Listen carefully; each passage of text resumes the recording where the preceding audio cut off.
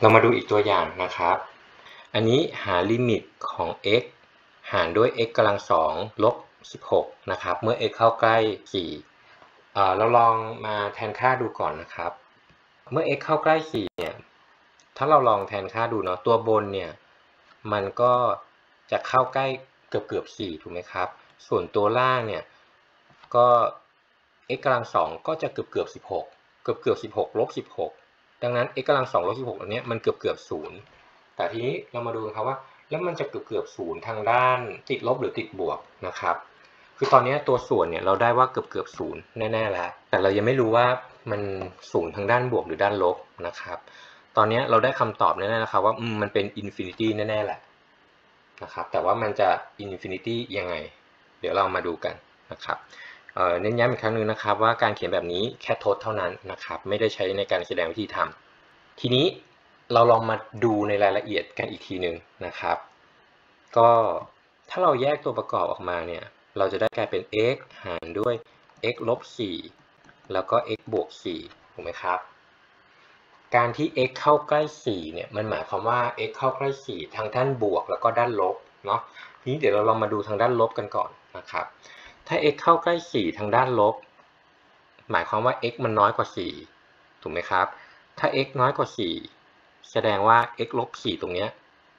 ติดลบ เนาะ แล้วก็ x บวก 4 อันนี้ยังไงยังไงก็บวกนะครับ อันนี้ก็บวก เพราะฉะนั้นบวกหารบวก แล้วก็คูณด้วยจำนวนลบได้ลบนะครับ ดังนั้นเราก็จะได้ว่าถ้า x เข้าใกล้ 4 ทางด้านลบ คำตอบที่เราได้เนี่ยมันก็จะกลายเป็นลบ infinity นะครับทีนี้มาดูกันครับว่าถ้า x เข้าใกล้ 4 ทางด้านบวก แสดงว่า x มันมากกว่า 4 ดังนั้น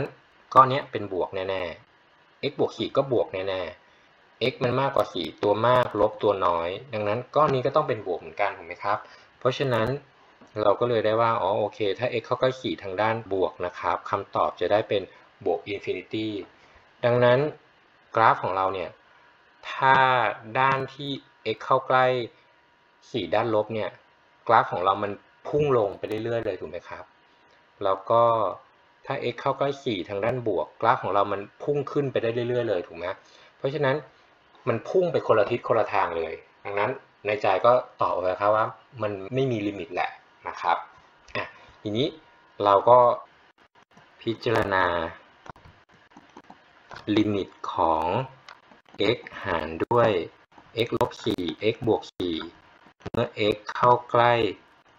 4 ดูทางด้านลบก่อนนะครับ ถ้า x เข้าใกล้ 4 ทางด้านลบก็ step ที่ 1 นะครับอะใส่ bullet ทีนี้เราก็มาทำทีละ step นะครับ ก็เหมือนเดิมครับ เนื่องจากว่า x เนี่ยมันเข้าใกล้ 4 ทางด้านลบ เพราะฉะนั้นเราจะสนใจ x ที่มันอยู่บริเวณรอบๆ 4 แต่ด้านที่น้อยกว่า 4 แต่เราก็ไม่ได้สนใจที่มันไกลกับ 4 มากมายนะนะครับดังนั้นให้ x มันน้อยกว่า 4 นะครับเพราะว่า x เข้าใกล้4ทางด้านลบ แต่เราก็สนใจบริเวณที่มันอยู่รอบๆ 4 นะครับ เพราะฉะนั้น x ลบ 4 ก็เลยมีค่าอยู่ระหว่าง 0 กับลบ1นะครับ แล้วก็ x บวก 4 ก็จะมีค่าอยู่ระหว่าง 7 กับ 8 เพราะฉะนั้น ของเราเนี่ย มันเป็น x หารด้วย x ลบ4 x บวก4นะครับ x อยู่นี่ x ลบ4แล้วก็ x บวก4ตรงนี้นะครับ เพราะฉะนั้นเราก็จะได้ว่าารด้วย x ลบ 4 x บวก 4 ก็จะมีค่าเป็นบวกหารลบ หารด้วยบวกถูกไหมครับ ก็จะมีค่าติดลบน้อยกว่า 0 นะครับ เมื่อ x มีค่าอยู่ระหว่าง 3 กับ 4 นะครับ step แรกเคลียร์ไป ต่อมา step ที่ 2 นะครับ ก็เนื่องจากว่า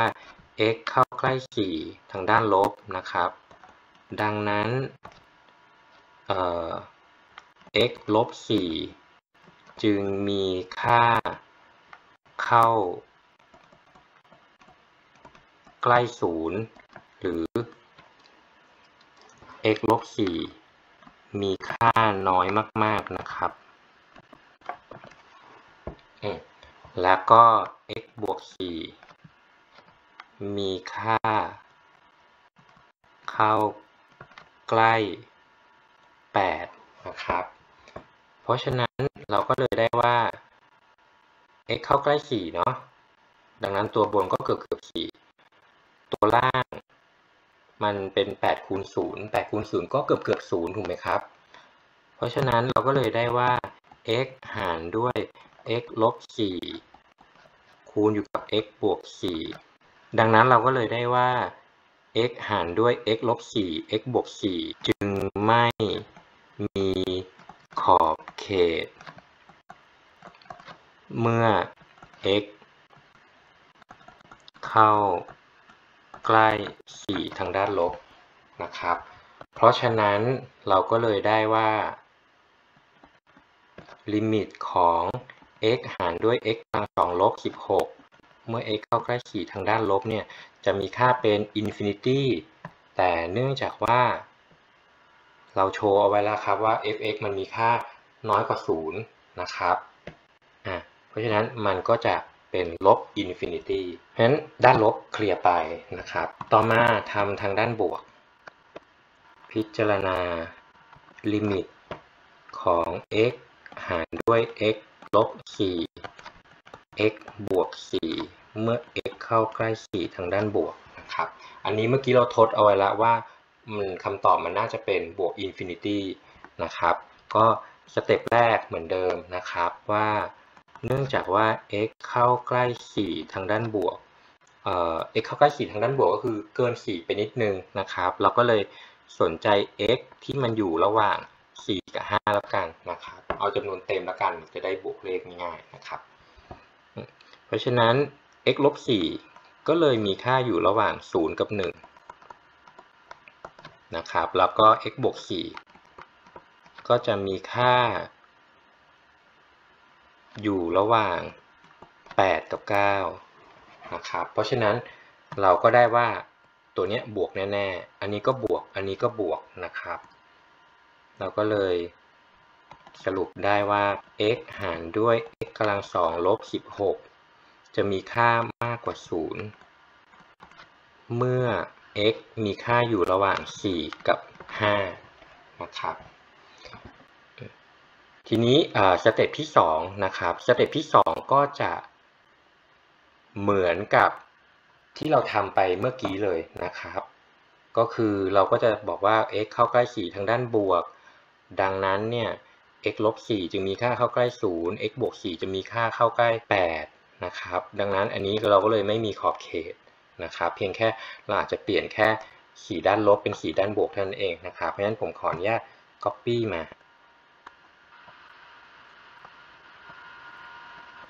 เพราะฉะนั้นเราก็ x เข้าใกล้4ด้านบวก ดังนั้นเราก็เลยได้ว่าลิมิตของ f(x) เมื่อ x เข้าใกล้4ด้านบวกนะครับ มีค่าเป็นบวก infinity แล้วก็สุดท้ายท้ายสุด ลิมิตซ้ายติดลบลงไปเรื่อยๆเลย ลิมิตขวาเพิ่มขึ้นไปได้เรื่อย ๆ เลยนะครับ ก็สรุปสุดท้ายนิดนึงนะครับ เนื่องจากว่าลิมิต x ส่วนด้วย x กำลัง2ลบ16 เนี่ย เมื่อ x เข้าใกล้4ด้านลบนะครับ มีค่าเป็นลบ infinity และลิมิตของ f(x) เมื่อ x เข้าใกล้ 4 ทางด้านบวกนะครับ มีค่าเป็นบวก infinity เพราะฉะนั้นจะเห็นได้ว่าลิมิตซ้ายลิมิตขวาเนี่ยมันพุ่งไปคนละทางกัน เราก็สรุปว่าลิมิตของไอ้เจ้า f(x) ตัวเนี้ยไม่มีค่านะครับ